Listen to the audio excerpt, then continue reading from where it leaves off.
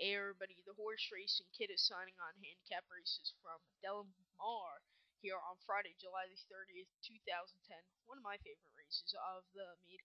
Uh, it is the Cougar, the second handicap grade 3, 125,000 purse guaranteed. This is a one year end for the Breeders' Cup Marathon. Uh, stakes handicap for three year olds, a mile and a half going over the poly track.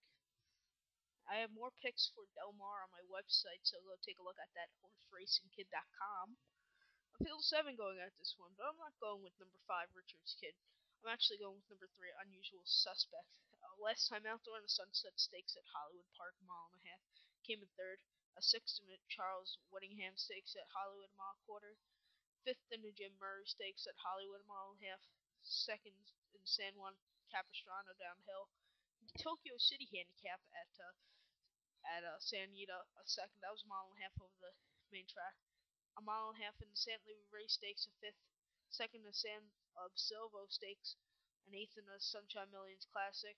In the California Cup Mile, uh, sixth in the sixth in the Washington Park Handicap at uh, Arlington. I'm going with this one. So recap my bets race number seven from uh, Del Mar, the Cougar, the second handicap, going with the three.